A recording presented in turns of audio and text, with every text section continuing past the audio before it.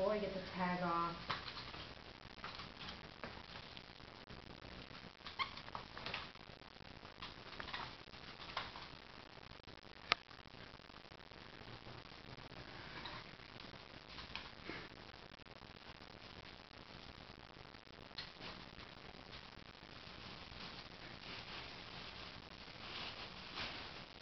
But you can't.